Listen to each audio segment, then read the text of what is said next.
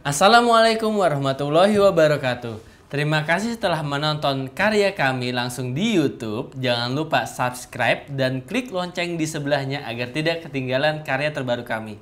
Selamat menonton.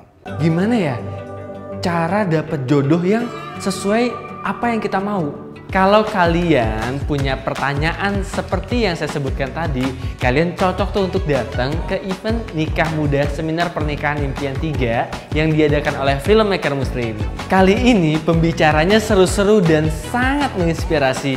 Ada Alvin dan Larissa, Nata Reza dan Wardah, Resa Rere dan Rian Kori, Anandito, Anissa Rahma, dan Syakir Daulay. Ya, segera catat tanggalnya Ahad 2 Desember 2018 di Smesco, Jakarta. Daftarkan dirimu dan teman-temanmu segera ya, jangan sampai kehabisan karena kuota peserta terbatas. Dan ingat, kamu akan mendapatkan voucher pernikahan senilai 5 juta rupiah dari 25 stories loh. Untuk informasi pemesanan, silakan WhatsApp ke nomor ini. Oke, ayo bersiap terinspirasi dalam event terbesar tahun ini. Wassalamualaikum warahmatullahi wabarakatuh.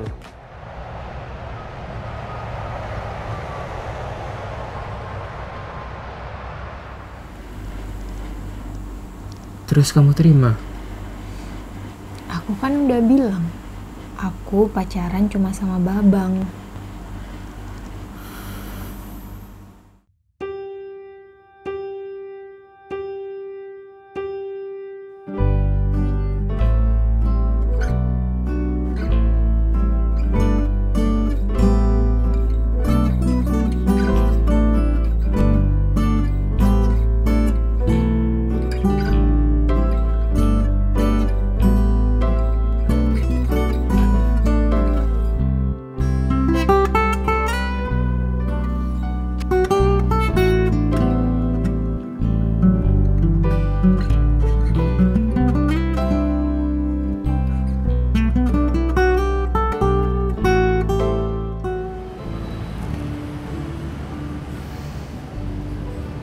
Kamu serius?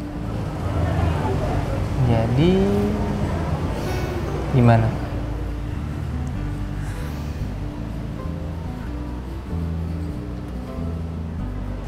Gak apa-apa sih kalau gak mau, gak maksa juga. Aku nggak kepikiran untuk pacaran waktu itu.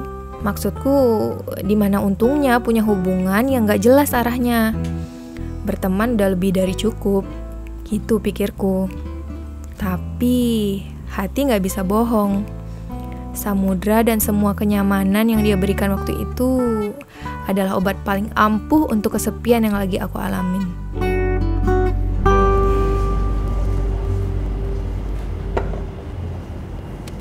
Diliatin aja, diminum. Masih panas. Kan mesinnya latte panas, bukan anget. Romantis banget ya. Tapi aku belum jatuh cinta loh di situ. Ya tapi udah duaan. Ya namanya juga masa jahiliyah. Terusin. Bener, nggak marah. Udah kepalang cemburu. Tanggung. Jadi kamu bela-belain ke kampus padahal nggak ada mata kuliah cuma buat nembak. Cuma buat ditolak. Ya tapi kan belum tahu bakal ditolak. Iya, tapi kan ditolak. Tapi kamu nolak aku. Tapi tetap mau jalan sama aku. Aku nggak mau pacaran, bukan mau berhenti berteman. Tanya boleh? Kalau nggak maksa jawab nggak apa-apa. Kenapa suka sama aku? Tahu dari mana suka? Eh, kan kalau orang ngajakin pacaran harus suka kan? Iya suka. Kenapa ya? Gini, aku ngeliat kamu udah agak lama terus Terus nge-stalker? terus ngikutin tanpa ngelakuin hal aneh, mencari tahu tanpa mengorek privasi. Nge-stalker dengan mematuhi norma hukum. Iya itu, terus makin merhatiin suka aja gitu. Kenapa? Stalker ih, Dengan mengikuti norma hukum, beda loh. Dan itu nggak pakai cinta. Enggak, beneran deh. Cuma kayak dapet temen baru buat ngusir kesepian. Udah, Bentar, kok jadi bahas tari sama Adnan? ada hubungannya. Kan mau tahu cerita cinta pertama aku? Ya hubungannya apa? Sabar, aku ceritain. Udahlah, nggak usah dipikirin. Ya dipikirin dong. Gue kurang apa lagi coba? Ganteng iya, alim. Gue dari SD sampai SMA di sekolah Islam terpadu. Masa depan terang kayak matahari siang-siang. Ya terus kalau emang Harveynya nggak mau gimana? Tahu dari mana? Ya dia nggak respon kan?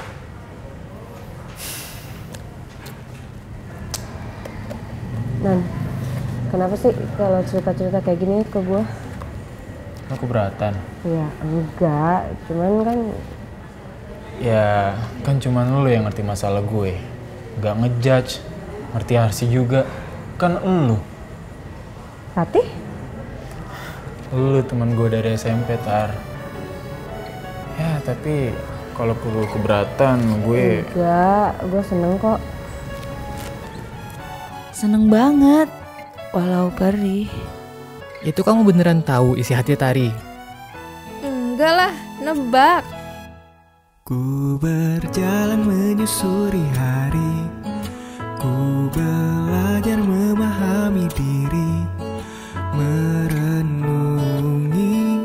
kebesarannya ilahi Ketika diri terus mencari Tersada dalam gelapnya hati Ingin ku bisa meraih cahaya ilahi.